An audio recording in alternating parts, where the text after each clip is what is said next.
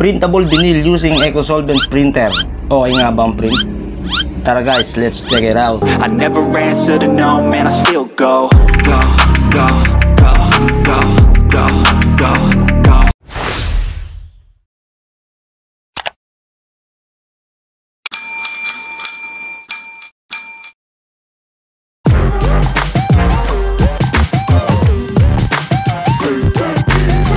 Okay guys, magandang araw sa inyo and welcome back again to my YouTube channel and shoutout po sa inyong lahat at sa mga bago nating subscriber dyan.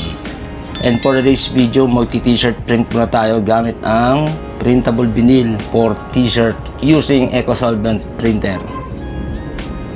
Okay, open ulit tayo ng Photoshop. Then, gawa tayo ng canvas size. Ang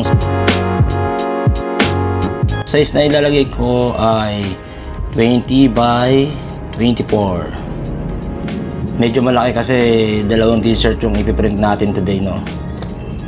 Tapos open tayo ng design. Ito yung mga design na ilalagay natin sa t-shirt. Ginawa ko na siya kanina kaya ready to print na lang no? Ito tsaka ito Yan guys, naka PNG files na siya. Ganon din yung isa, yan kasi yung ikakat ng cutter platter. Okay, setup ko muna.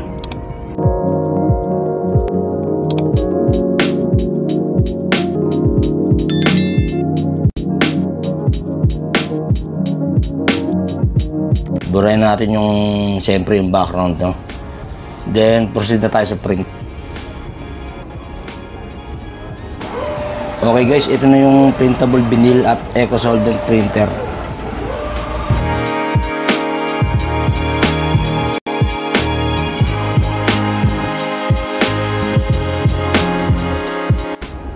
Yan, malapit na siya matapos. Next, syempre, sa cutting naman para hindi na tayo magugupit ng design.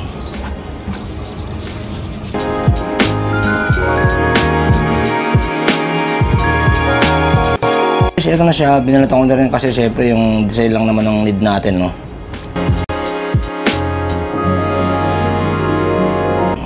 Ito, para matanggal natin na maayos, gagamitan natin siya ng transfer tape for t-shirt. Iba naman yung transfer tape for sticker, okay? Ito guys, nagamit ko na to ng ilang beses pero hanggat may dikit pa, magamit natin yun ulit. Okay, simulan na natin.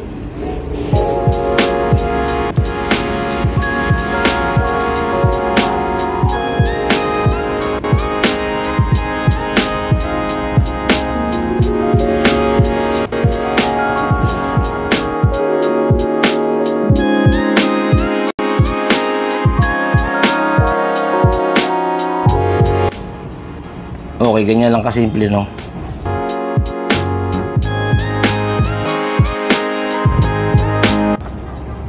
Siyempre, bago natin idikit sa t-shirt, painitan muna natin yung mga t-shirt ng 5 seconds para yung moist niya matanggal.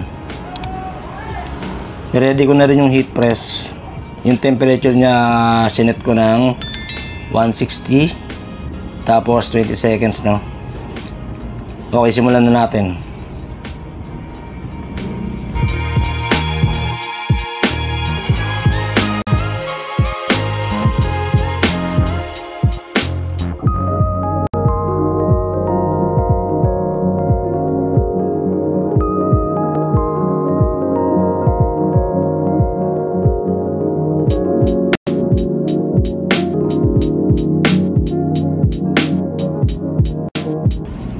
Okay guys, pagkatapos natin mapainitin yung mga damit, lagay na natin yung ating design.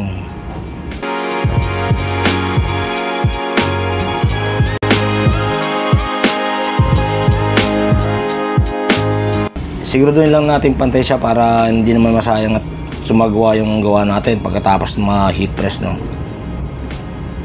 Ipipress natin siya ng 15 seconds tapos papalamigin, then sundan natin ulit ng 5 seconds gamit tayo ng thermal paper para maging glossy yung tsura niya.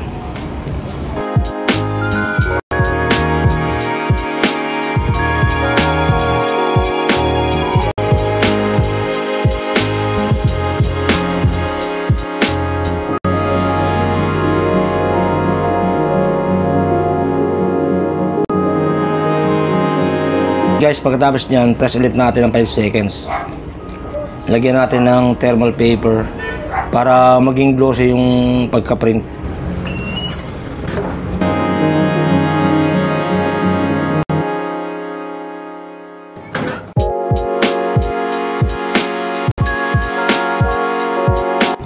Yan guys, okay na siya.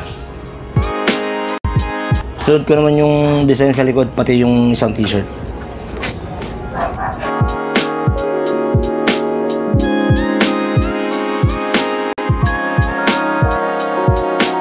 Okay na.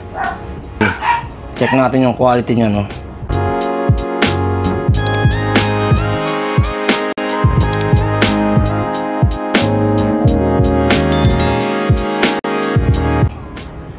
Patayin ko na muna tong heat press. Okay guys, ito na siya. Yan, ganyan yung result ng printable vinyl para sa t-shirt.